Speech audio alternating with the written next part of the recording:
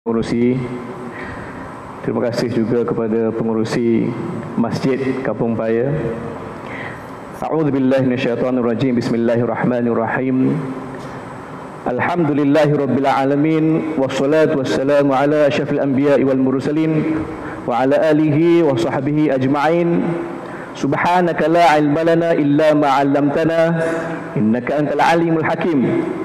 Israh li sadri wa yassir li amri واحلل عقدة من لساني يفقه قولي. أما بعد قال الله تعالى في كتابه العزيز والأعوذ بالله من الشيطان الرجيم. بسم الله الرحمن الرحيم. إذا جاء نصر الله والفتح ورأيت الناس يدخلون في دين الله أفواجا فسبح بحمد ربك واستغفره. innahu kana tawwaba. Assalamualaikum warahmatullahi wabarakatuh.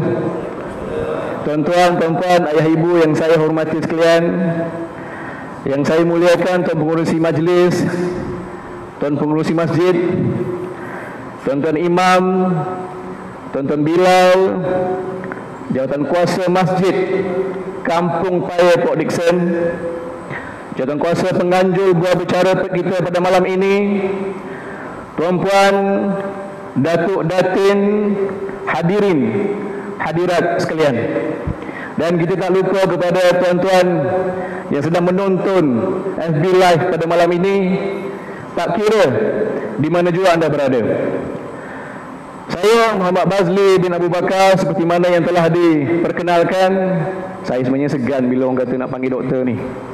Sebab saya dah tak praktis kalau boleh tuan-tuan kejumpa kat luar janganlah panggil doktor. Panggil Bazli cukup boleh eh.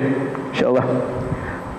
Jadi pada malam ini insya-Allah tuan-tuan tajuk yang diberikan bicara kemerdekaan ruang dan peluang untuk kita memartabatkan Islam insya-Allah. Pada malam ini 30 Ogos 2020 hari Sabtu.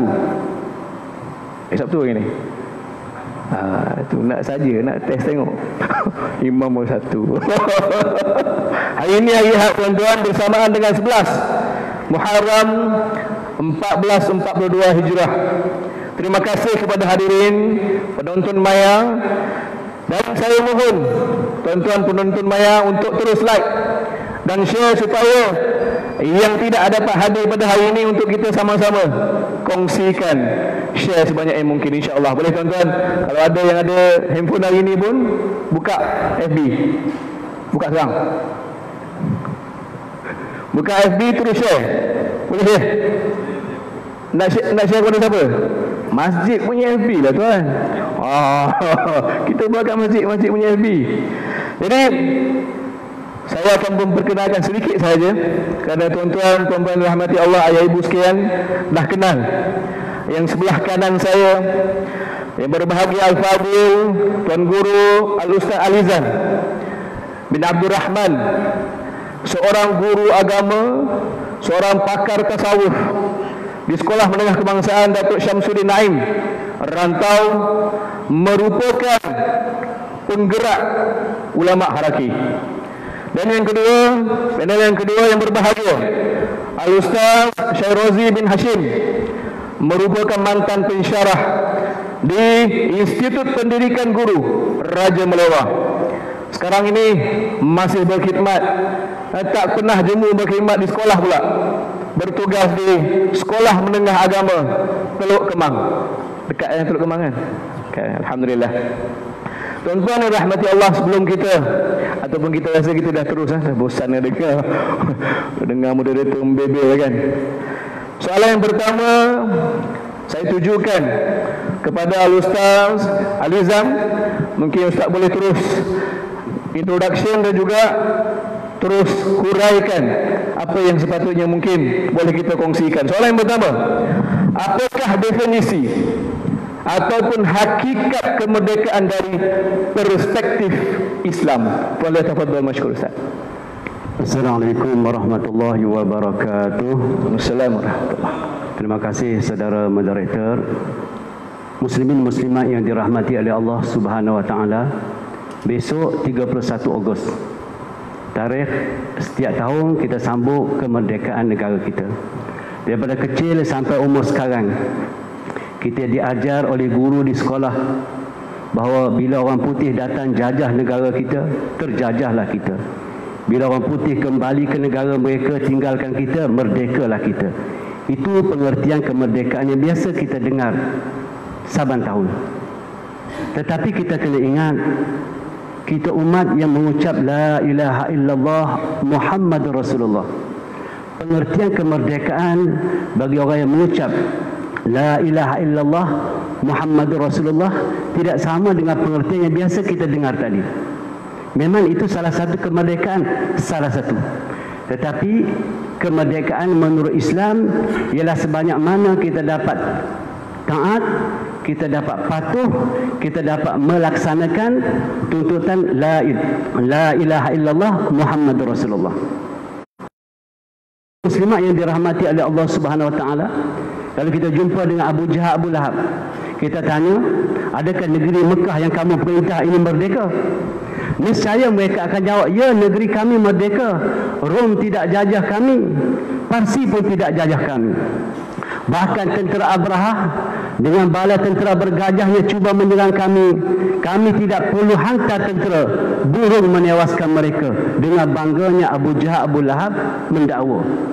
Adakah negeri Mekah merdeka? Dan kalau kita tanya orang Thailand, negara Thailand dia bangga dia tidak pernah dijajah oleh barat. Sebab tu nama dia Thailand. Malaysia dia kata dijajah. Indonesia Belanda menjajah. Filipina pun dijajah oleh barat. Kami merdeka. Kalau kita la ilaha illallah Muhammadur Rasulullah merdeka ke Thailand. Tadi kalau kita mengucap la ilaha illallah Muhammadur Rasulullah merdeka ke negeri Mekah masa dinasti Abu Jahal Abu Lahab. Muslimin muslimat yang dirahmati oleh Allah Subhanahu wa taala, Allah beritahu dalam Quran Walaqad ba'athna fi kulli ummatin rasula an ya'budullah wajtanibut taghut. Sesungguhnya kami utuskan setiap umat itu satu rasul. Sesungguhnya kami mengutuskan setiap umat itu Rasul. Yang tugas Rasul tadi Anik budullah. Ajak manusia sembah Allah. Berakidah dengan akidah yang benar Ibadah yang sahih Dan akhlak yang diterima dalam Islam. Dan meminta manusia Wajtani buttagut Jauhi tagut Daripada ayat Al-Quran ini pun kita boleh buat Pembahasan tentang kemerdekaan kemerdekaan kita yang sebenar ialah kita berdapat berakidah dengan akidah yang benar. Dan apabila kita mengikut Tawud, maknanya kita terjajah. Kalau kita tanya Amerika, dia bangga. Negara dia merdeka. Sebenarnya bagi orang yang mengucap La ilaha illallah Muhammad Rasulullah, Amerika tidak merdeka. Kenapa? Kerana dia bersistemkan Tawud.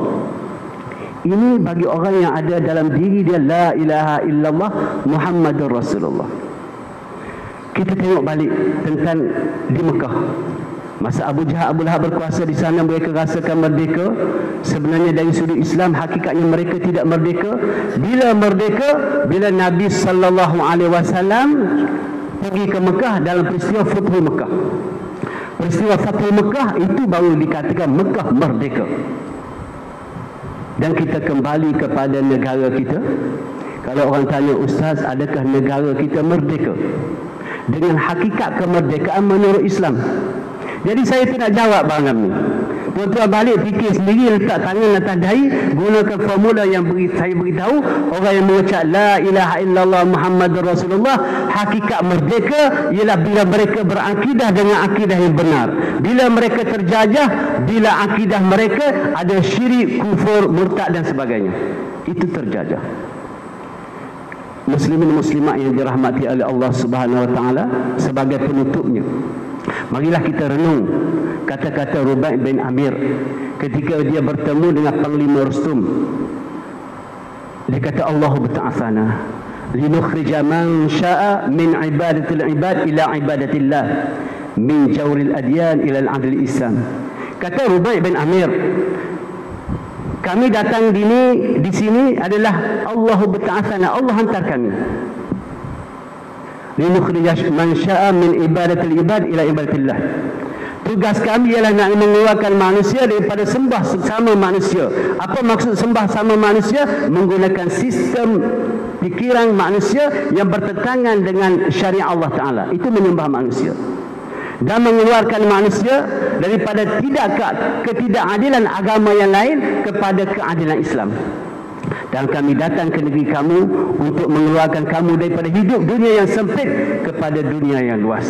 Jadi daripada ucapan Nubaik bin Amir itu kita dapat faham definisi hakikat kemerdekaan menurut Islam. Wassalamualaikum warahmatullahi wabarakatuh. Saya serahkan kepada saudara moderator. Waalaikumsalam warahmatullahi Ustaz dah penutup tadi Ustaz? Belum penutup lagi Ustaz. Oh pusingan pertama dia dah tutup.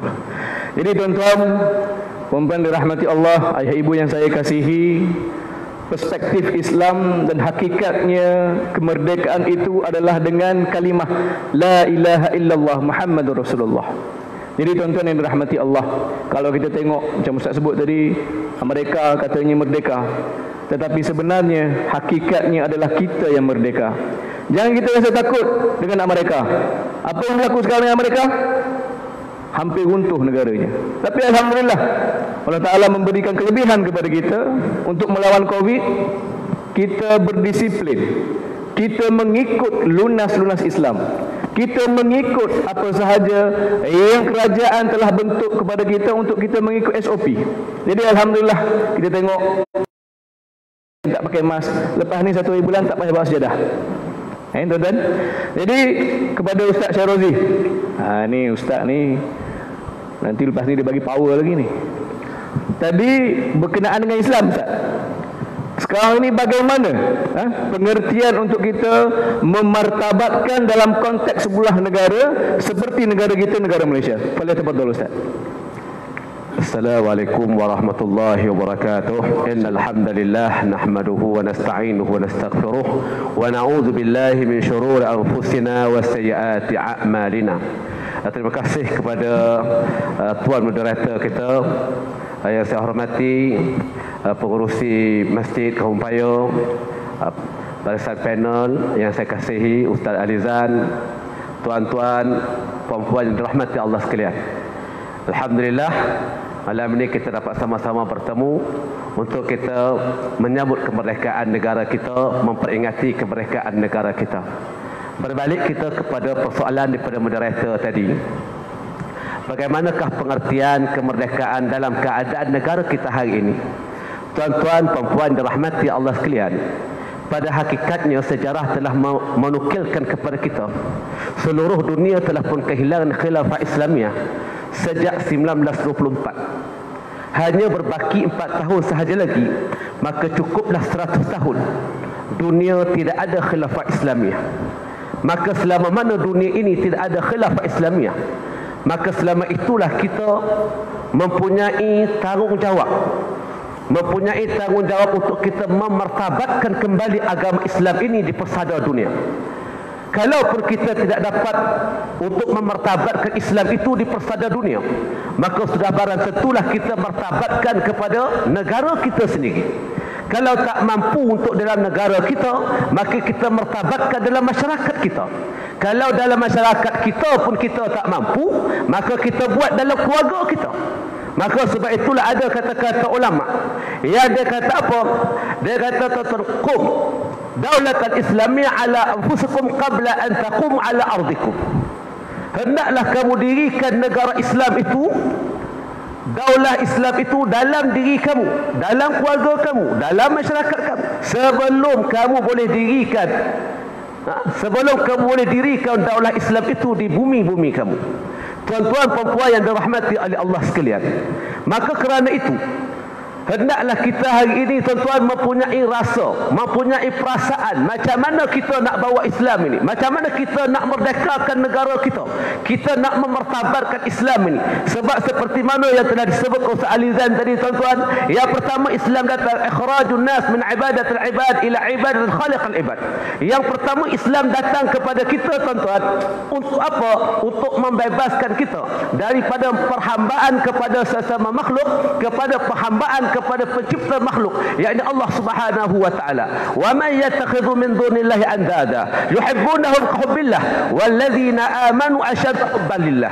Wa ramai di kalangan manusia ini? Wa man yattakhidhu min dunillahi andada. Di kalangan mereka yang mengambil selain daripada Allah sebagai sembahan-sembahan mereka sebagai pujaan-pujaan mereka yuhibbunahum ka hubbillah mereka ambil pujaan-pujaan tersebut seperti mana mereka cintakan Allah. Ada orang yang bertuhankan kepada kepada harta. Ada yang bertuhankan kepada pemikiran. Ada yang bertuhankan kepada ideologi. Apabila ideologi pemikiran dan harta tadi bertentangan dengan kehendak Allah Subhanahu wa taala sebenarnya jiwa dia tidak lagi merdeka. Maka dalam sebuah negara yang merdeka seperti kita Islam telah pun diletakkan dalam perlembagaan negara kita sebagai agama persekutuan. Sebagai agama persekutuan dia bukannya agama rasmi agama persekutuan. Kalau kita katakan agama rasmi itulah jadinya tuan-tuan. Islam hanya dilihat ketika mana kita nak baca doa. Islam dilihat ketika mana orang baca Quran. Dalam majlis-majlis dibuka dengan baca Al-Quran. Dalam majlis dibuka dengan baca doa. Maka kita melihat inilah Islam sebagai suatu agama rasmi. Hakikatnya Islam adalah agama persekutuan. Kalaulah Malaysia ini diibaratkan sebagai seorang manusia seorang manusia yang nama dia Malaysia nama dia Malaysia. Apa agama dia? Agama dia Islam. Bila kita katakan Islam maka udkhulu fil Islam kafah masuk Islam ini keseluruhannya tuan-tuan. Bukan kita masuk separuh-separuh. Bukan kita ambil hanya pada sesuatu bab sahaja. Tetapi kita mengambil Islam ini secara keseluruhannya. Maka kerana inilah tuan-tuan rahmati Allah sekalian kita nak keluar dari kepompong. Kepompong apa? Iaitu akhrajun nas min ibadatil ibad. Jangan kita terlalu memperhambakan diri kita jangan kita terlalu memperhambakan diri kita kepada makhluk Ya'ti zamanun ala ummati yuhibbuna khamsan wa yansawna khamsan.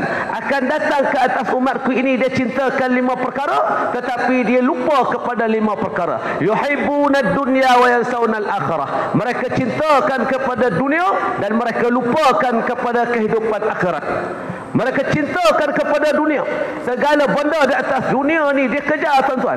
Pangkat, harta, kekayaan, semuanya dia kejar. Semata-mata kerana dunia. Yuhibbuna dunia wa yansawna al-akhirah. Tuan-tuan, kalau orang itu masih lagi terikat dengan dunia, jiwanya tidak merdeka. Innamal hayatud dunya mata'un wal akhiratu khairul liman ittaqa. Allah Taala beritahu kepada kita tuan-tuan, innamal hayatud dunya mata'un.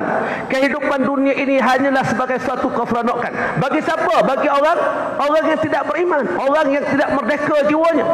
Tetapi orang yang merdeka jiwanya wal akhiratu khairul liman ittaqa.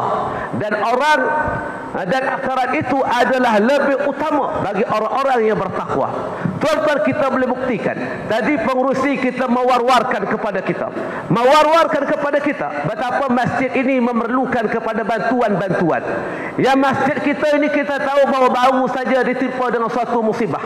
Ya, ditimpa dengan satu musibah. Dan malam ni sudah pun dilancarkan. Untuk kita minta dana kepada tuan-tuan. Tuan-tuan rahmati Allah sekalian. Sanggupkah kita nak keluarkan? Yang seperti mana kita kata dunia ni tidak ada apa bagi kita. Innamal hayatud dunya mata mataun wal akhiratu khairul liman ittaqa kita orang yang ber, kita orang yang bertakwa yang beriman kita sanggup keluarkan sebahagian daripada harta kita tuan-tuan untuk kita bantu membangunkan masjid. Untuk kita bantu membangunkan agama kita. Buktikan tuan-tuan malam ini jiwa kita benar-benar telah merdeka.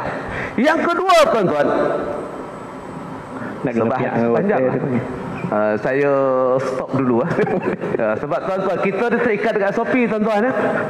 Tak boleh kata lapar semangat bona kan. Uh, terlebih Shopee tuan-tuan kan. Uh, kesian pengurusi kita orang. Eh. Uh, terima kasih Allahu alam. Tuntas eh, daripada Ustaz Syairozi.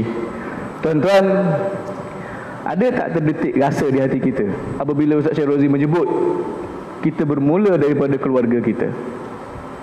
Kita tak nak menuding jari kepada siapa-siapa. Kita tengok balik kepada diri kita. Anak kita di mana sekarang? Isteri kita di mana sekarang? Kalau anak yang datang, ayah kita, mak kita di mana sekarang?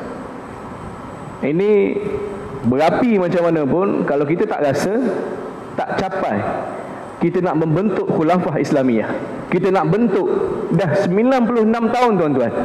96 tahun kita tanpa khulafah Islamiyah.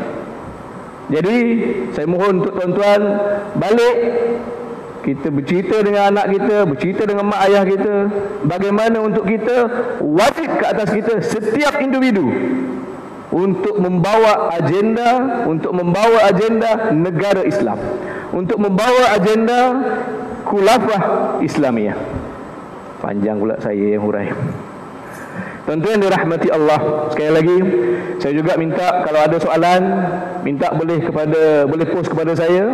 Ataupun tuan-tuan boleh tulis Untuk mungkin Ustaz Alizal Ataupun Ustaz Syarazi Langsung Menjawab. Begitu juga dengan tuan-tuan Daripada FB Live. Boleh terus teks boleh terus komen di dalam komen untuk kita sama-sama bertanya langsung kepada ahli panel yang hebat malam ini.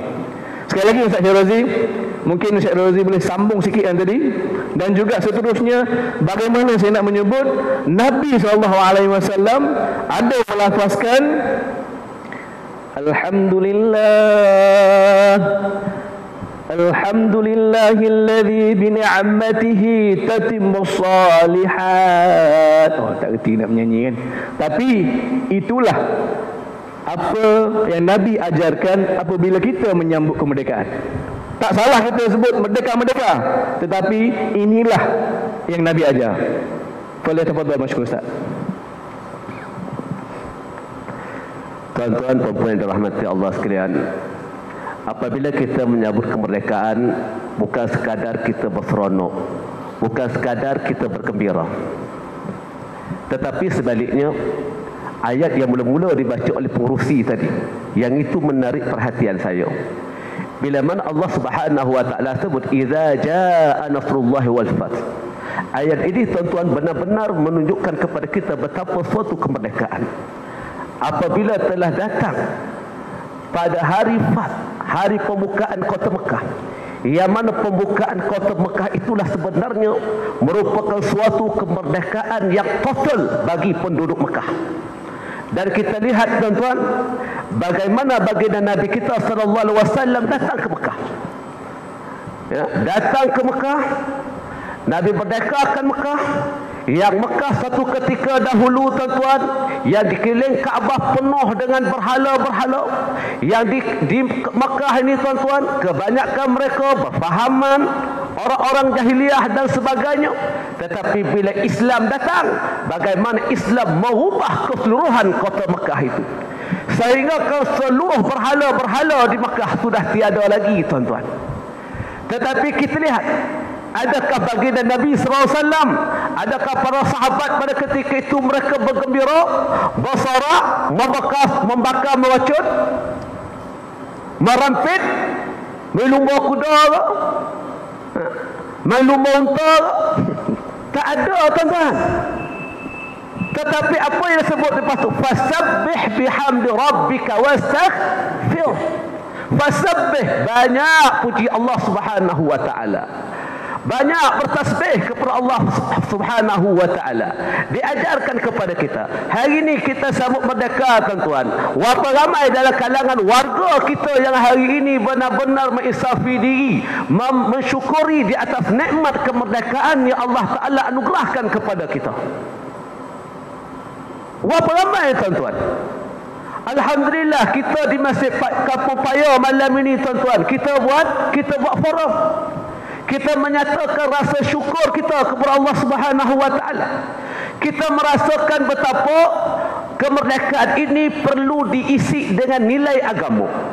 Kemerdekaan ini mesti diisi dengan nilai-nilai rabbaniyah kepada Allah Subhanahu wa taala. Kita tidak mahu merdeka itu dipahami dengan kebebasan semata-mata. Ya. Fasabbih bihamdi rabbika wastaghfir Kemudian apa tuan-tuan? Minta ampun kepada Allah Subhanahu wa taala. Sebab barangkali dalam kita menyambut kemerdekaan, dalam kita nak berjuang mendapatkan kemerdekaan ini tuan-tuan, ada kesilapan-kesilapan kita, ada kesukaran-kesukaran kita, ada dosa-dosa yang kita lakukan, maka kita minta ampun kepada Allah Subhanahu wa taala. Begitu juga tuan-tuan kita minta ampun kepada pejuang-pejuang kemerdekaan kita. Pejuang-pejuang kemerdekaan kita, tuan-tuan. Hari ini kita hanya mengingati beberapa tokoh kemerdekaan kita. Tetapi di mana kita meletakkan beberapa tokoh yang lain? Tuan-tuan, negara kita mula dijajah bukan ketika mana Inggeris datang ke Malaysia. Tetapi apabila Portugis datang ke Melaka 1511 itu tuan-tuan berarti telah mula dah penjajahan terhadap negara kita. Dan pada ketika itu sudah bermulalah perjuangan untuk menentang untuk menuntut kemerdekaan, untuk memerdekakan negara kita. Pada ketika itu tuan-tuan belum ada lagi bangsa-bangsa yang lain. Belum ada bangsa Cina, belum ada bangsa India, belum ada bangsa-bangsa yang lain. Tetapi pada waktu itu Roh untuk kita merdeka Roh perjuangan itu Ditiup oleh para ulama Ditiup oleh para pahlawan Melayu kita Maka kerana inilah tuan-tuan yang dirahmati Allah sekalian Semua mereka itu ada yang terkorban syahid Tuan-tuan apa yang berlaku kepada Tok Janggut Tok Janggut merupakan pejuang Bukan petualang tetapi berapa ramai yang melihat bahawa Tok Janggut itu adalah merupakan tokoh kemerdekaan. Datuk Bahaman. Bukankah Datuk Bahaman juga merupakan tokoh kemerdekaan? Kerana ini tuan-tuan dan rahmati Allah sekalian, maka sebab itu dalam kita menyambut kemerdekaan ini bukan kita berseronok bukan kita bersukaria tetapi ada baiknya kita muhasabah diri kita. Kita mendoakan ha, kita minta ampun kepada Allah Subhanahu wa taala dan kita doakan mudah-mudahan negara kita ini menjadi suatu negara yang diridai oleh Allah Subhanahu wa taala nanti insya-Allah. Dan kita sangat bimbang tuan-tuan kalau-kalau sambutan merdeka yang tidak bertebing ini tuan-tuan akhirnya nanti nanti mendatangkan musibah pula kepada kita. Sayusibu ummati da'ul umam. Akan ditimpa ke atas umatku ini penyakit umat-umat yang terdahulu. Kita bimbang benda ini berlaku pula kepada kita. Dalam kita sambut merdeka rupa-rupanya ada penyakit umat yang terdahulu yang terkena kepada kita. Apa dia? Qalu ya rasulullah wa ma da'ul umam? Para sahabat bertanya ya rasulullah apakah penyakit umat-umat yang terdahulu? Lalu kata baginda nabi kita sallallahu alaihi wasallam al-ashir wal bataru yang pertama nabi sebut tuan al-ashiru. Kata ulama yang dikatakan sebagai al-ashiru itu iaitulah iaitulah kufur nikmat. Nikmat yang berupa keseronokan. Dalam arti kata yang lain tuan-tuan, al-ashiru ini keseronokan yang melampau-lampau. Keseronokan yang melampau-lampau. Sehingga kan tuan-tuan hari ini kita tengok di bandar PD ni tuan-tuan penuh. Penuh manusia. Hari ini saya balik daripada Jelebu tadi tuan-tuan, masya-Allah. Dengan jamnya masya-Allah. Nak datang sini ni tuan-tuan, tengok ways dulu. Ikut jalan lain. Penuhnya tuan-tuan. Seronok orang nak sambut, nak sambut mereka. Tak salah untuk kita seronok, tetapi jangan lupa untuk bersyukur. Yang kita bimbang keseronokan ini dipenuhi dengan hiburan-hiburan. Hiburan-hiburan yang melampau ni tuan-tuan. Ya sehingga kita lupa jati diri kita sebagai seorang muslim. Jati diri kita sebagai seorang rakyat Malaysia. Yang ni kita bimbang tuan-tuan. Ya. wal bataru dan juga kemewahan ya. dan juga kemewahan. Kemudian Nabi sebut lagi watakafaru dan sibuk pula untuk kita kumpul-kumpul. Kumpul harta merdeka. Hari ini merdeka tuan-tuan. Sibuk nak kumpul-kumpul. Kumpul harta kumpul pengaruh kumpul kawan. Macam-macam kita kumpul tuan-tuan. Sehingga kita lupa kematian semakin dekat dengan kita. Ya. sibuk digunakan ruang kemerdekaan ini kadang-kadang untuk untuk mencari keuntungan pribadi mereka. Ini sesuatu yang sangat yang sangat membimbangkan kita dan ia merupakan satu satu musibah. Yang keempat tuan-tuan, ha, yang termasuk juga dalam taufan watanajashu. Ya. Berbalah, bergaduh tentang sebab apa? Tentang hal-hal dunia bergaduh tentang hal dunia. Kita dah merdeka dah tuan-tuan. Dah merdeka daripada penjajahan tapi bergaduh dengan jelas sebelah rumah. Eh? bergaduh dengan kawan-kawan di masjid. Kadang-kadang sama-sama Korea pun bergaduh Tapi bukan masjid kaum payah lah. Di masjid tempat lain tuan-tuan. Ya. Masjid kaum payah Masya Allah. Tabarakallah. Ya. Ha, saya kenal pengurusi dia ni lama dah ni kan. Ha, Alhamdulillah tuan-tuan. Ya. Ha, ni kita cerita tempat lain ni tuan-tuan. Ya. Ha, ya. Ni dokter Afrika Utara ke Afrika Selatan tu kan. Ha, ni tuan-tuan. Ya. Bergaduh dan mereka jadi tuan-tuan dulu kita berjuang untuk halau penjajah hari ini kerana kenapa kita nak berjuang bergaduh dengan saudara-saudara kita? Kan? Yang kelima. Ha, panjang lagi. Minta maaf daripada satu lagi. Satu lagi. Ha, ya? ha. dan yang kelima Nabi kata banyak berlakunya hasad dengki di antara satu sama yang lain banyak asat dengki. Ya. Tengok orang ni tak tak puas hati, tengok orang tu tak puas hati, tuan-tuan. Sedangkan nikmat itu semuanya Allah Taala yang bagi kepada kita. Maka yakinlah kita, tuan-tuan, tak perlu kita nak berdengki-dengki ke orang. Tak perlu kita nak berhasad dengki ke orang. Ya. Ha. Kita sama-sama muhasabah diri kita, tuan-tuan. Sebab kita cerita pasal mereka ni. Kan? Apa guna mereka negara tak kalau jiwa kita tak mereka? Apa guna kita cerita pasal mereka kalau kita sama-sama rakyat jelata pun dongki-dongki lagi. Sama-sama Islam pun dongki-dongki lagi tuan-tuan. Siap main sihir lagi. Kan? Apa cerita lah. Ya? Jadi tuan-tuan, sempurna kemerdekaan ini, mari kita sama-sama membetulkan balik ukhuwah kita sebab salah satu daripada makna kemerdekaan yang saya saja tak sebut tadi. Ya? Ha. Ikhrajun nas, ikhrajun nas min at-tafarruqi ila al-wahdah mengeluarkan manusia daripada pecah belah kepada penyatuan. Bersatu hati kita insya-Allah. Wallahu alam. Alhamdulillah. Tuan-tuan ayah ibu yang saya hormati lain syakartum lazidannakum wa lain kafartum inna azabi lasyadid bagaimana untuk kita Allah Taala mengajar kita untuk kita sentiasa bersyukur. Ha, sentiasa bersyukur dan bagaimana caranya untuk kita bersyukur? Ini kempen sikit tadi lah bila pengurusi kata tadi kita kena derma. Boleh tak malam ni? Sekurang-kurangnya RM50 seorang. Malam ni kita tanam azam kita. Hantar tak pengurusi. Saya azam. 500 contoh. Kalau tuan-tuan yakin dengan ayat Allah Ta'ala lain syakartum la'azidannakum tadi RM500 tu pejam mata. Boleh bagi Kenapa? Apabila kita bersyukur, Allah Ta'ala akan menambah nikmat kita. Tak percaya buat eh? Boleh mesti? Ada berapa dah azam? Ada 15 ribu dah? InsyaAllah. Ustaz Alizan dah tak sabar nak jawab soalan Ustaz. Seterusnya kita nak dengar Ustaz Alizan pula. Kupasan untuk pusingan kedua mengenai petugas Islam Ustaz. Bagaimana untuk kita memartabatkan Islam ini dalam ruang dan peluang yang ada dan apakah tindakan petugas Islam? Boleh tafadhol Ustaz.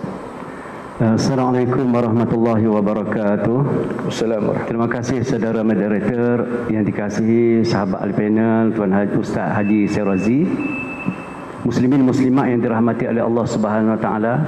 Sebagaimana yang kita tahu Nabi kita, kekasih kita Rasulullah sallallahu alaihi wasallam nabi akhir zaman. Dan kita sebagai umat dia kita ada kerja mengambil kerja Nabi sallallahu alaihi wasallam. Kerja kita tak sama dengan kerja umat-umat yang dahulu. Ulama beritahu kepada kita umat-umat dahulu kalau dalam buat ibadah dia beribadah di, di bawah pangkal satu pokok sampai badan dia dililit oleh akar-akar. Tapi kita umat Nabi Muhammad sallallahu alaihi wasallam kita ditugaskan untuk ambil kerja Nabi sallallahu alaihi wasallam di mana kerja Nabi masa di Mekah kita kena ambil, kerja Nabi sallallahu alaihi wasallam di, di Madinah pun kita kena ambil. Kita jangan sekali-kali jadi macam umat dahulu. Yang hanya ibadah khususiah semata-mata. Muslimin muslimat yang dirahmati oleh Allah Subhanahu wa taala Imam Syahid As-Albana di dalam kitab Risalah Ta'lim dalam rukun amal dia beritahu. Kerja kita ialah pertama sekali kita nak bina diri kita peribadi kita ni menjadi muslim yang sejati. Yang kedua kita nak bina keluarga kita keluarga yang sejati mengikut Islam. Yang ketiga kita nak bina masyarakat tempatan kita itu masyarakat yang mengikut nilai-nilai Islam. Yang keempat kita nak keluarkan daripada negara kita nilai-nilai yang tidak Islami dan yang kelima nak memasukkan dalam negara kita usul-usul sistem keislaman. Dan yang keenam kita nak menubuhkan khilafah. Yang ketujuh kita nak sebar dakwah ke seluruh alam. Ini tujuh step yang di, di, diungkapkan oleh Imam Syahid Al-Banna yang kita mengasakan ini adalah kerja kita. Kerja umat Nabi Muhammad SAW atau bahasa yang ringkas petugas Islam atau dalam bahasa yang lain kita kena ingat ulama haraki membahagikan orang muslim ini dua. Satu muslim yang biasa sembahyang puasa zakat haji dan sebagainya. Satu lagi dia panggil muslim haraki. Muslim yang biasa tadi muslim yang biasalah dia setakat sembahyang dia sembahyang orang lain tak sembahyang tak kisahlah Muslim haraki dia fikir macam mana dia sembahyang, macam mana dia nak suruh diri anak isteri dia sembahyang, jiran tetangga dia sembahyang, masyarakat kampung dia sembahyang dan satu negara sembahyang, satu umat, satu dunia sembahyang. Ini Muslim haraki dari sudut sembahyang. Jadi kita ni petugas Islam. Kita nak biar kita ni semua jadi petugas Islam. Ambil kerja Nabi sallallahu alaihi wasallam. Kalau kita tengok tujuh step tadi, kalau untuk bina diri kita seorang boleh untuk bina keluarga kita seorang boleh. Untuk bina masyarakat kita seorang masih lagi boleh.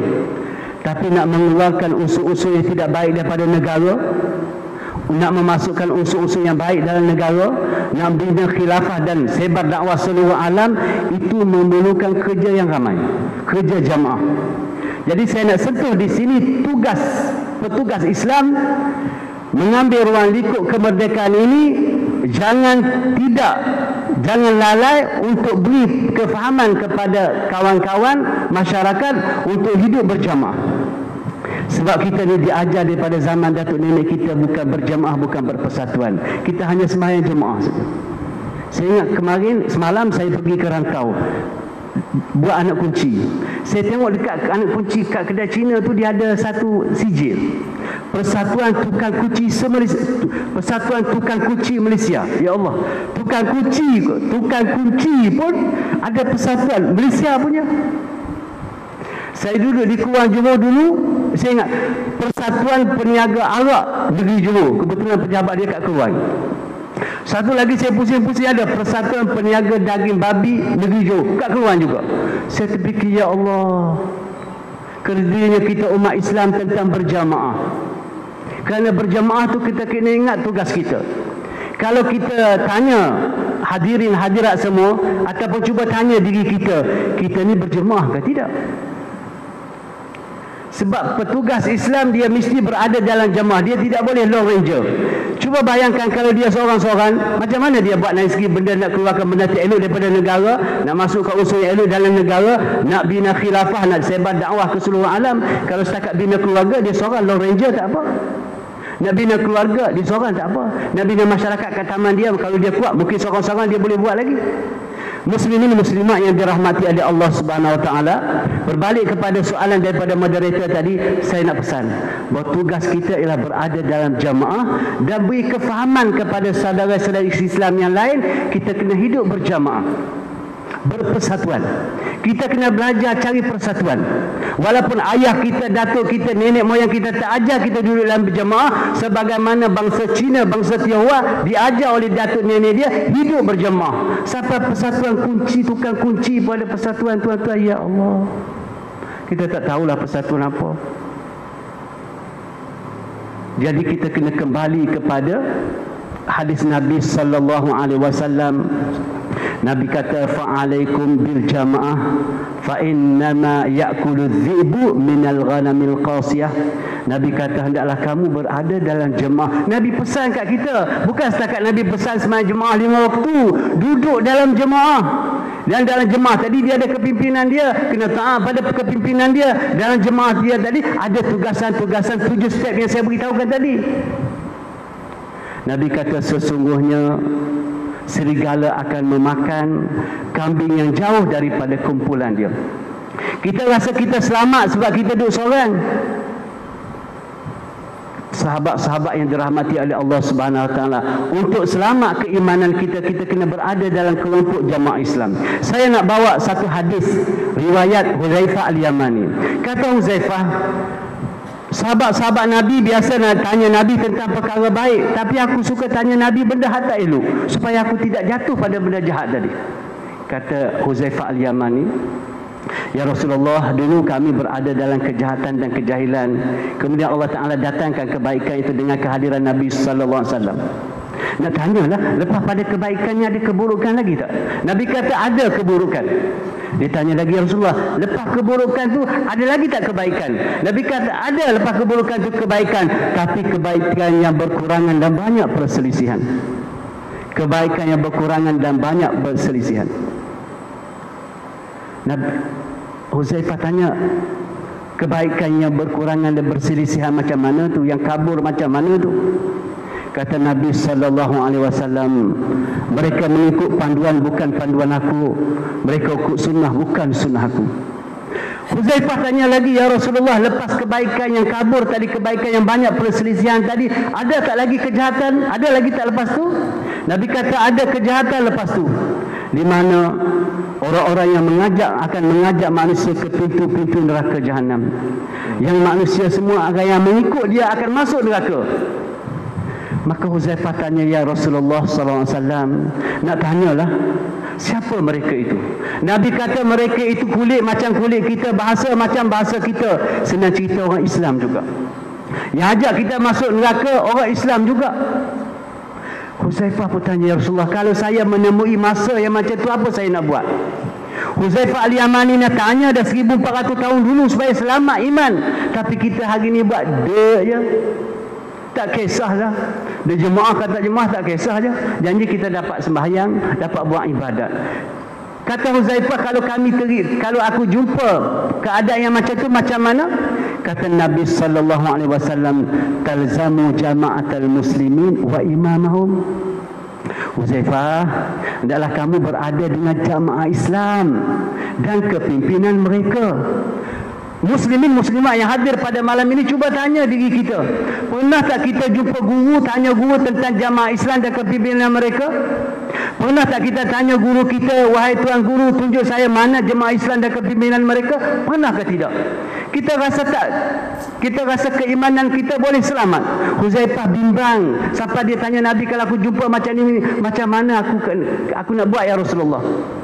Nabi kata hendaklah kamu berada dalam jemaah Islam dan kepimpinan mereka. Uzaifah tanya lagi ya Rasulullah, kalau tak ada jemaah Islam dan kepimpinan mereka jemaah Islam tak ada. Aku hidup masa tu ya Rasulullah tak ada jemaah Islam apa aku nak buat? Nabi kata hendaklah kamu jauhi kumpulan-kumpulan yang lain.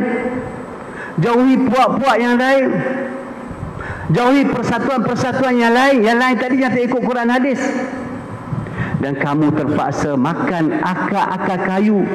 Dan kamu mati dalam keadaan itu lebih baik bagi kamu.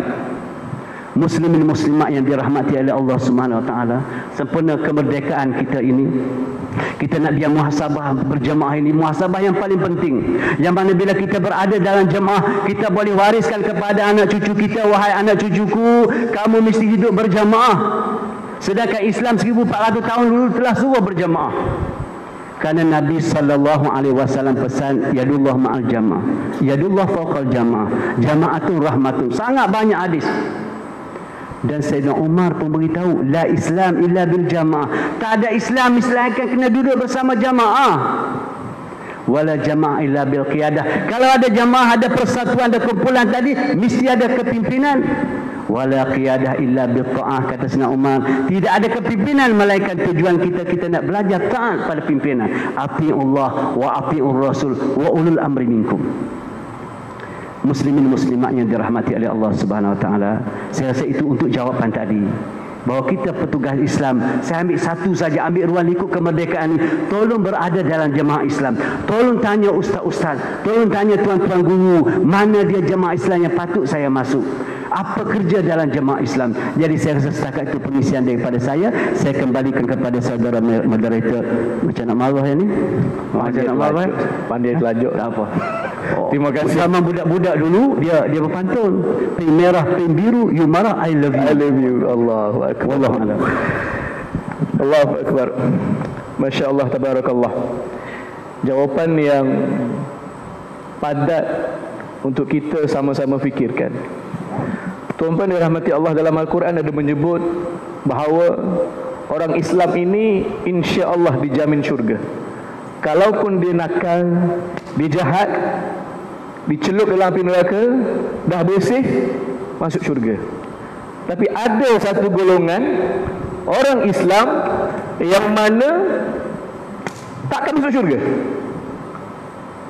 Boleh tak saya bagi tas ini kepada tuan-tuan untuk fikir dan mencari jawapan ni dengan alim ulama tuan-tuan.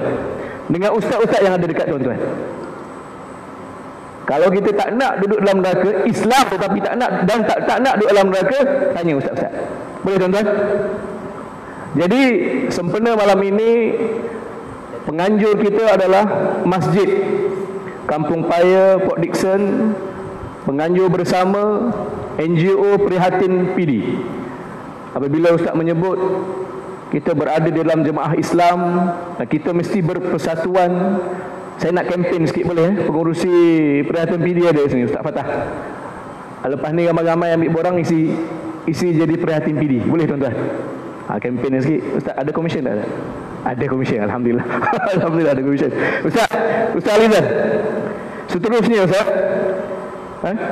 Bagaimana Allah Ta'ala menyebut dalam Al-Quran surah Al-Hujurat ayat yang ke-13 Hai manusia sesungguhnya kami telah menciptakan kalian dari seorang lelaki dan seorang wanita lalu menjadikan kalian berbangsa-bangsa dan bersuku-suku agar kalian saling kenal mengenali ataupun dalam Al-Quran dia menyebut lita'arufu jadi Ustaz dalam negara kita ini ada pelbagai bangsa, ada pelbagai suku. Dan negeri Sembilan sendiri pun kita ada banyak suku. Jadi bagaimana ha, untuk kita menjaga kedaulatan kemerdekaan ini dari sudut pandang syariat? Boleh tafadhal Ustaz. Terima kasih saudara moderator. Mana yang kita dapat faham daripada soalan tu macam mana kita nak kekalkan dan nak jaga kemerdekaan negara kita. Banyak tip-tip dia kita biasa dengar lalu kepada TV ke internet. Tapi saya nak bawa satu-satu persatu saja untuk mengekalkan kemerdekaan. Kalau saya tanya tuan-tuan kalau tuan-tuan ada anak perempuan tuan-tuan nak suruh anak perempuan nanti kahwin biar rumah tangga dia kekal bahagia sampai ke anak cucu sampai ke jannah apa ciri utama dia pilih calon suami yang terbaik kalau kita ada anak laki-laki pun sama, kita nak suruh dia kahwin dan kita nak biar rumah tangga dia bahagia, kekal bahagia sampai ke anak cucu, sampai ke jannah, tak ada cara lain. Pertama sekali kita akan cari calon isteri yang terbaik. Dan kalau kita hadiri sendiri pun nak kahwin pun macam tu. Kita nak cari yang terbaik, calon yang terbaik supaya rumah tangga kekal bahagia. Dalam negara pun sama nak kekal kedaulatan, nak kekal kemerdekaan banyak. Tapi saya nak hak satu je, hak jangan masuk TV. Pilih calon pemimpin yang terbaik. Tahun 80-an dulu kita biasa dengar kumpulan The Zik. Pilihlah pemimpin yang takutkan Allah yang minta dibantu menegak kebenaran. Kita nak pemimpin yang macam tu. Jadi untuk mengekalkan kemerdekaan, untuk mengekalkan kedaulatan negara, supaya kita tidak dijajah dan negara kita tidak digadai, pertama sekali kena pilih pemimpin yang terbaik. Kita belajar siasah syariah politik Islam diajarkan satu kaedah pada kita annas ala dini mulukim. Rakyat mengikut muluk mereka, ikut raja mereka, ikut pemerintah mereka, ikut pemimpin mereka. Dan kita kena ingat bahawa kita dalam milih pemimpin ini bukan kalau kita pilih tak betul, kita pilih tak betul bukan setakat negara kita ni kena gadai, kedaulatan kita hancur, kemerdekaan kita hancur, pada mahsyar nanti kita pelbagai masalah yang timbul. Kalau kita tak pandai pilih pemimpin. Kalau pandai tak apa. Kita tengok macam mana ulama beritahu ketika Khalifah Umar bin Aziz jadi khalifah. Tuan-tuan tahu kepribadian Khalifah Umar bin Aziz? Ma'ruf pada kita, kita tahu macam mana rakyat jelata masa itu. Ini ada dalam kitab Minatul Musalli karena Syedok Fatani.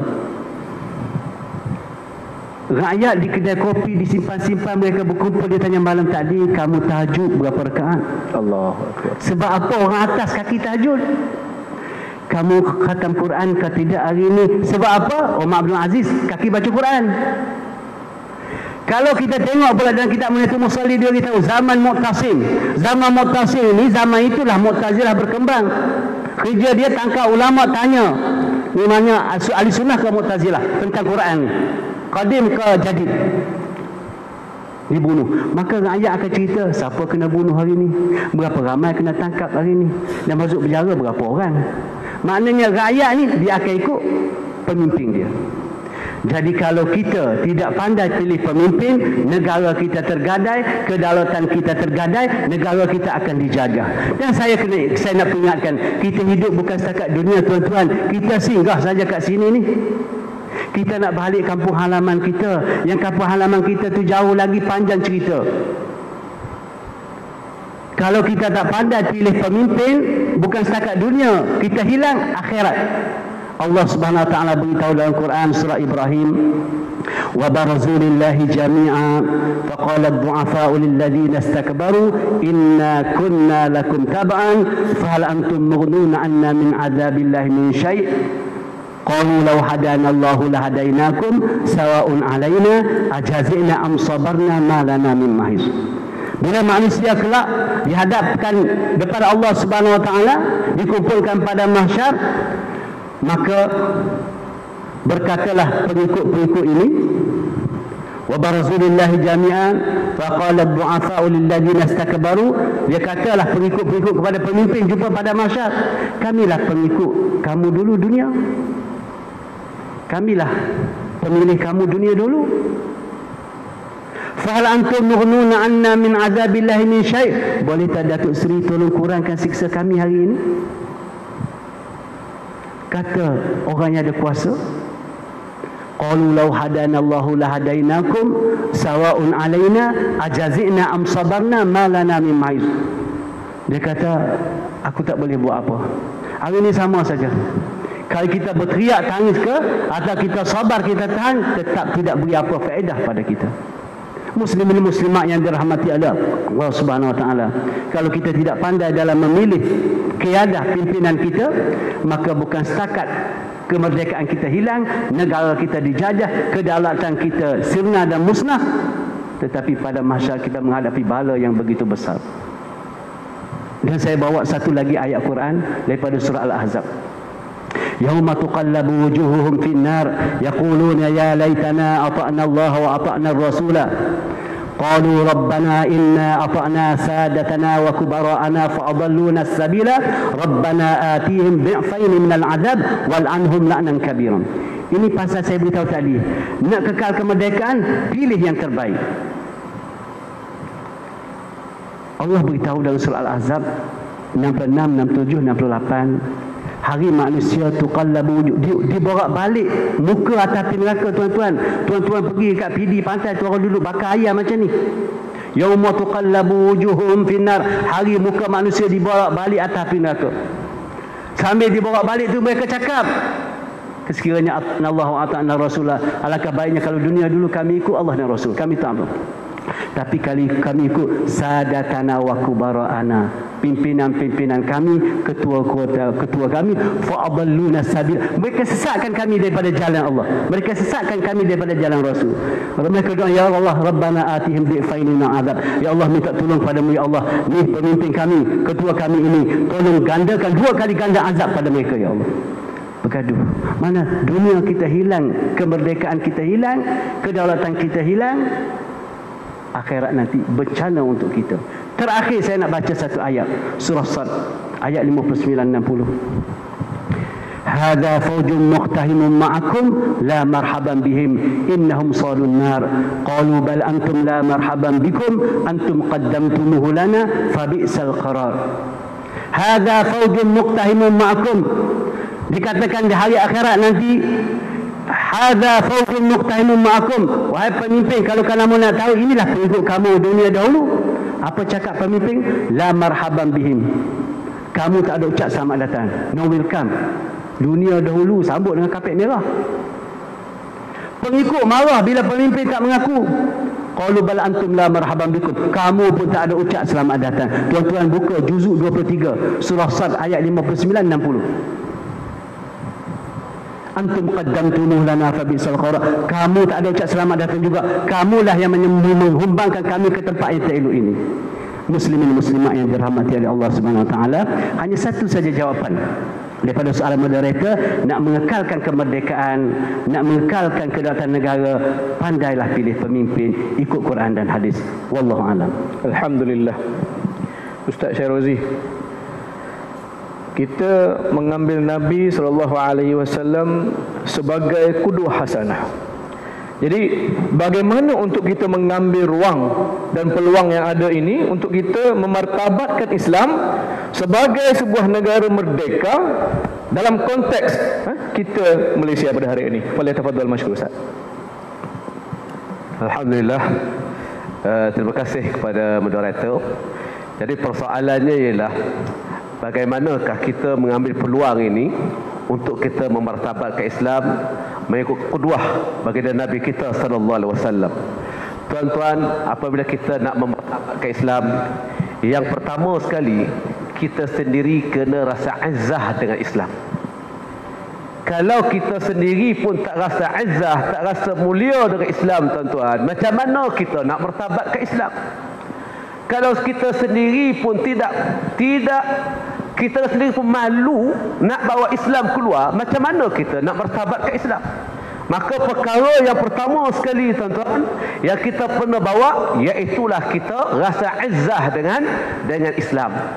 Ya, kalau kita cari selain daripada Islam untuk kita rasa izzah, maka kita akan dihinakan oleh Allah Subhanahu wa taala bahkan kita akan rugi selama-lamanya.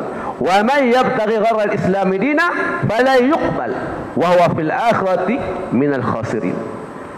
Barang siapa yang mencari selain daripada Islam sebagai cara hidup mereka. Sebagai cara hidup kita. Ya. Fala yuqbal. Allah tak akan terima. Tak akan terima kita bahwa fil akhirati minal khasirin dan dia besok di akhirat termasuk dalam kalangan orang-orang yang rugi. Karena itu tuan-tuan yang pertama sekali, itu yang kedua kita rasa azah. Ya, yang pertama kita rasa azah. Yang kedua tuan-tuan, iaitulah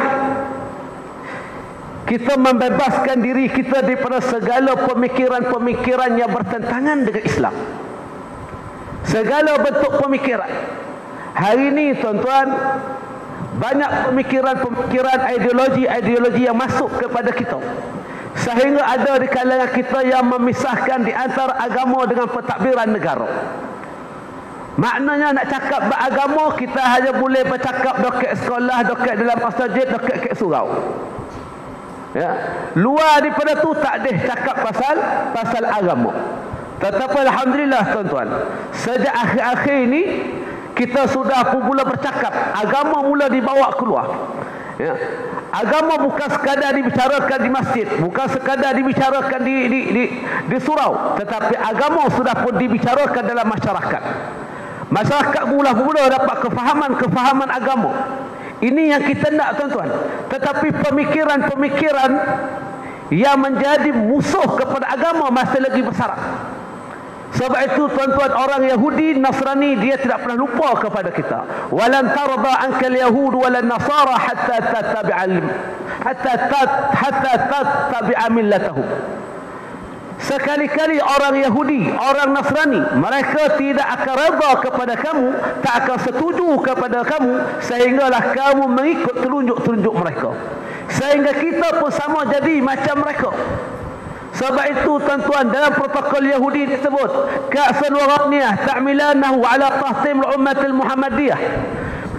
Ya, kita nak rasakan umat Islam ni guna apa? Ka'san wa ghaniyah. Gunakan ka'sun iaitu benda-benda yang memabukkan. Wa ghaniyah, hiburan-hiburan yang melampau. Untuk apa nak menghancurkan umat Muhammad sallallahu alaihi wasallam? Dua benda aja. Ka'san wa ta'milanahu ala fahtim ummat al-muhammadiyah akthar mimma alf nafa kita gunakan dua benda itu ada lebih baik daripada kita gunakan seribu meriam mereka tak nak jajah dah dengan peperangan tetapi mereka jajah kita dengan pemikiran Dia jajah kita dengan pemikiran. Hari ini anak-anak muda kita tuan-tuan di mana dia? Ya, kita sibuk dengan hiburan. Daripada kecil sampai ke tua kita sibuk hiburan. Daripada kecil bintang kecil daripada remaja ada bintang remaja. Bila dah dewasa sikit tentu ada akademik. Bila dah tua lagi ada apa nama yang tua-tua nyanyi ni? Apa? Kilawat meh ha kilawat meh ha eh? ha. Kan? Jadi daripada daripada kecil sampai ke tua lekor nak menyanyi tuan-tuan. Macam mana Kan? Lekau ada hiburan ni macam mana? Ha? Sampai ke hati-hati kita tak hidup. Lekau ada tergolak, lekau ketawa ya tuan-tuan. Ya? Kita nak dengar ceramah pun kalau tak ada golak ketawa tak sah. Mesti nak ada golak, mesti nak ada hiburannya. Bila masa hati kita nak hidup? Ya? Hati yang hidup inilah yang akan berjuang. Kalau hati yang nak seronok, nak seronok-seronok ni tuan-tuan, dia tak ada jiwa perjuangan. Ya Ustaz Azrizan sebut tadi banyak benda dah Ustaz sebut tuan-tuan. Kalau hati kita sibuk nak berseronok, nak bergonjeng kulu kile tuan-tuan, memang takkan ada lah benda tu lah. Ya? Jadi sebab itu kita nakkan supaya kita ada jiwa, ya? jiwa pejuang. Ya? Jiwa pejuang ni tuan-tuan dia bermula daripada daripada hati kita. Dia dia tidak akan lahir dengan gelak ketawa.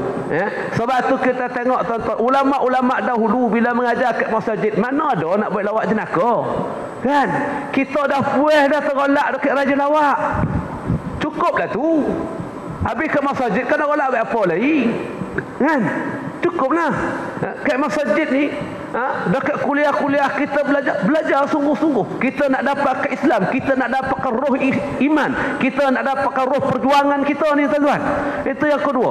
Yang ketiganya tuan-tuan. Ha? Yang ketiganya untuk kita ambil peluang itu iaitu perlu kepada dakwah.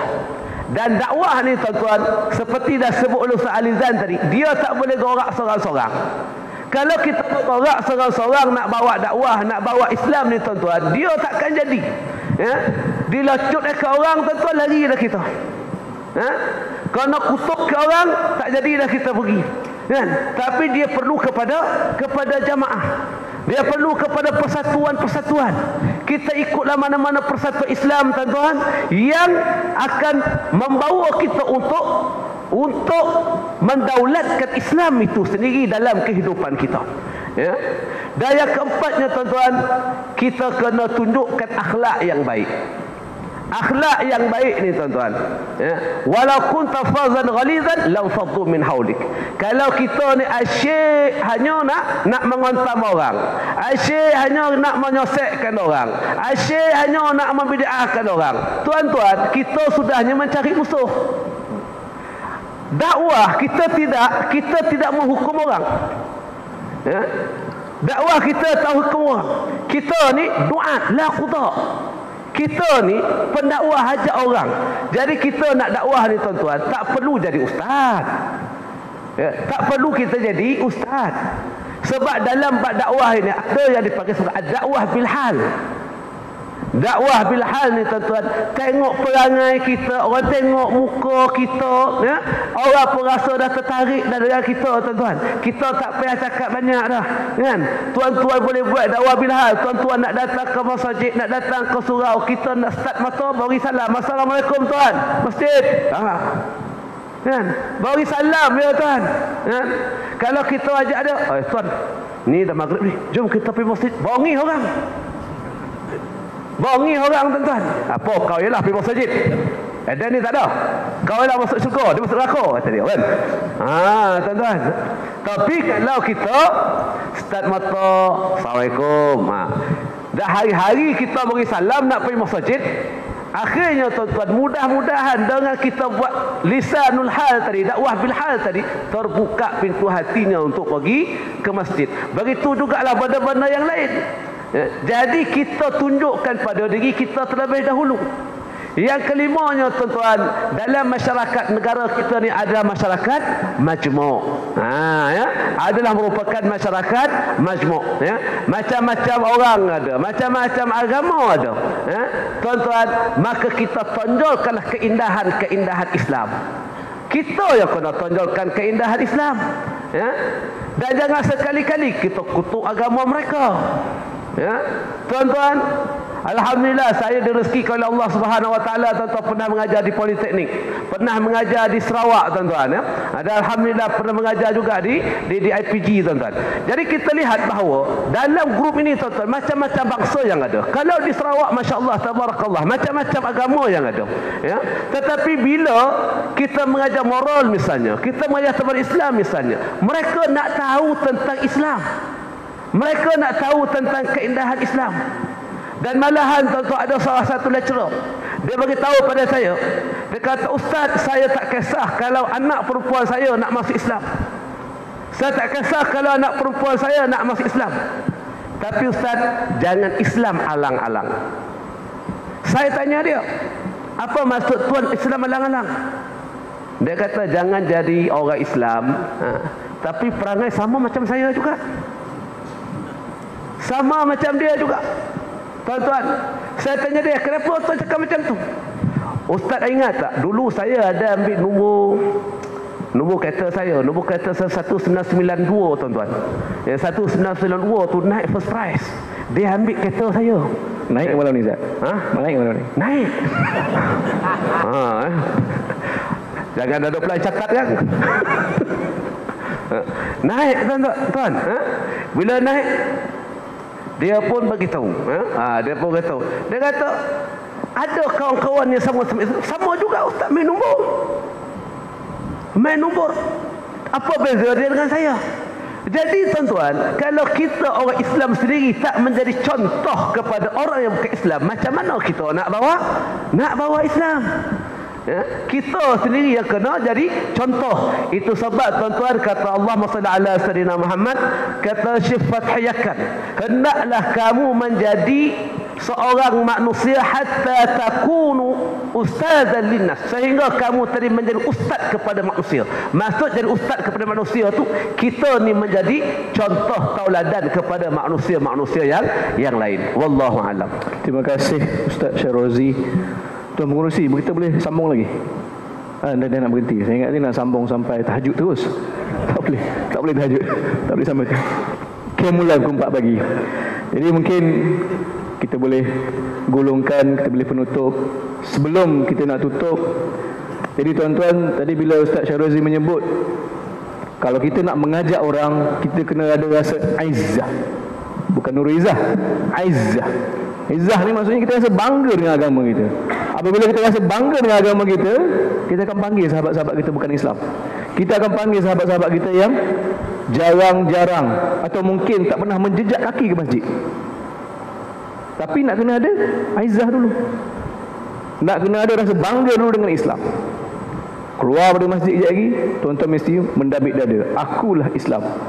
Akulah seorang Islam dan aku akan mengajak tanamkan niat dalam dalam hati kita untuk mengajak semua orang di dalam dunia ini kepada Islam. Boleh tak?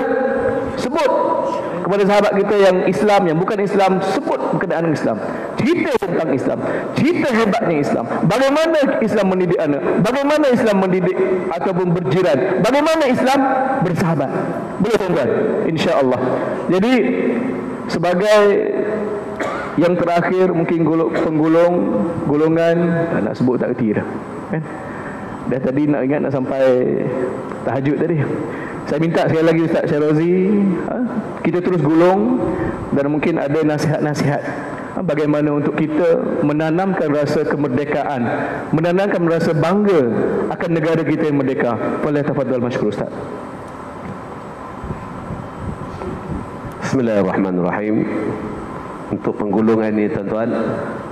Uh, yang pertama sekali yang pertama sekali saya ingin mengambil pesanan daripada Syekh Mustafa Masyhur uh, yang pertama dipesankan kepada kita untuk kita jaga syariat untuk kita bawa Islam ini untuk kita merdekakan diri kita dan kekal ke kemerdekaan ini tuan-tuan.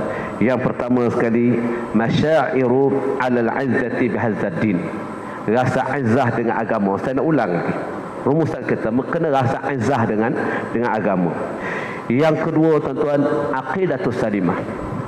Merdekakan diri kita iaitu kita jaga akidah kita. kita tak mau tuan-tuan ada akidah-akidah yang sesat yang masuk dalam dalam negara kita. Kita berpegang kepada akidah Islam iaitulah berasaskan kepada mazhab Ahlussunnah wal Jamaah. Ya, maka kita tidak kita nak jaga akidah ini daripada dimasuki oleh pemikiran-pemikiran Mu'tazilah oleh pemikiran-pemikiran Syiah oleh pemikiran-pemikiran yang sama sekali bertentangan dengan dengan akidah Islam. Ya, itu yang paling penting sekali. Yang ketiga ibadat ibadat sahihah. Ibadat yang yang betul ya? Ibadat yang betul. Yang yang sempurna ibadah kita. Maknanya janganlah kita ibadah itu kita campur adukkan dengan perkara-perkara bid'ah. Janganlah ibadah itu kita campur adukkan dengan perkara-perkara khurafat dan sebagainya. Ha, tuan-tuan? Ini tanggungjawab kita bersama. Ya. yang keempatnya tuan-tuan khuluqul matinah. Akhlak yang yang kukuh. Ya. akhlak yang jitu jadi kita kena berakhlak ni tuan-tuan. Yang sama ada kita suka ataupun tak suka kita kena bina akhlak Islam itu dalam diri kita dalam keluarga kita pada anak-anak kita pada anak-anak didik kita kepada semua orang. Bahkan kita sendiri kena berakhlak. Ya. Termasuklah kepada kanak-kanak termasuklah kepada budak-budak. Orang macam mana anak-anak muda nak hormat kepada orang tua kalau kita sendiri pun tidak tahu untuk untuk berakhlak dengan anak-anak anak-anak muda. Yang seterusnya tuan-tuan kita juga kena peka dengan keadaan-keadaan semasa ya. Tuan-tuan betul kita kata negara kita telah merdeka tetapi bukan berarti negara kita ini tidak ada ancaman-ancaman banyak ancaman-ancaman daripada luar ya. Banyak ancaman-ancaman daripada luar ancaman-ancaman pemikiran. Sebab itu tuan-tuan ikan betul-betul pemikiran ini ya. Begitu juga tuan-tuan jangan terlalu mudah uh, untuk kita menerima sesuatu perkara yang kadang-kadang kita lihat benda tadi macam biasa-biasa tetapi sebenarnya dia mempunyai pengertian yang sangat besar kepada kita Sebagai contoh tuan-tuan, hari ini kita berada dalam tahun hijrah. Kita masih lagi masih lagi merayakan ataupun menyambut ma'al ma'al hijrah. Dan tuan-tuan, sebenarnya ma'al hijrah itu sendiri, ma'al hijrah itu sendiri membawa arti kemerdekaan. Ya, dia membawa arti kemerdekaan kepada kita. Bagaimana susah payahnya bagi dan Nabi kita sallallahu alaihi wasallam berjuang untuk memerdekakan. Memerdekakan, Nabi merdekakan Mekah. Tetapi tuan-tuan, kita jangan lupa Nabi juga memerdekakan Madinah. Itulah negara Islam yang pertama ya Nabi, ya Nabi bina. Yang menjadi contoh kepada seluruh dunia. Dan daripada terbenanya negara Islam yang pertama itu, Nabi kemudiannya memerdekakan Mekah, negara kelahirannya sendiri.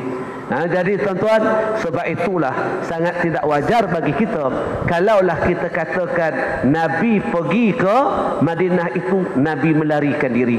Minta maaf tuan-tuan. Sama sekali Nabi tidak melarikan diri ke Madinah. Sebab apa? Sebab mana ada orang pelarian buat negara. Tuan-tuan, mana ada orang jadi pelarian dia buat negara. Lepas tu dia jajah balik negara kelahiran dia. Ada tak? Tak ada. Ya? Tak ada tuan-tuan. Kan? Jadi sebab itu, sebab apa? Sebab yang pertama sekali Nabi berhijrah kerana Allah. Kerana perintah daripada Allah Subhanahu wa taala. Tu yang pertama. Yang kedua tuan-tuan, kita ingat lagi tak sebab surau ke masjid saya mengajar sirah tuan, ya? Ha, kita ingat tak lagi tuan-tuan dalam sirah Nabi kita sallallahu alaihi wasallam ya, yang kita baca dan kita rahiqul maktum tu tuan-tuan bagaimana Nabi sebelum dia hijrah ada apa orang datang jumpa Nabi dalam perjanjian Aqabah. Itu orang mana tu? Orang Ma Madinah. Datang jemput Nabi buat perjanjian dengan Nabi sallallahu alaihi wasallam. Yang dia akan jaga Nabi yang akan pertahankan Nabi. Tuan-tuan saya nak tanya ada ke perlarian rohingya tu? Kita pergi ke rohingya pujuk orang Rohingya tu datang ke negara kita. Ada tak? Jadi itu nama apa? Pelarian. Ya? Jadi yang ni, yang Rasulullah ni bukan bukan pelarian. Orang Madinah datang tuan-tuan. Datang. Bagi jaminan kepada Rasulullah Rasulullah kemudian dia balik. Nabi hantar pula sahabat-sahabat untuk pergi ya sampai ke Islam ajar ke Islam kat sana ya. Dah cukup sedia. Baru Nabi pergi. Nabi pergi pula. Yang ketiga tuan-tuan Nabi sampai ke Madinah. Nabi disambut Nabi disambut Tala'an badru alaina. Tu Nabi di, disambut.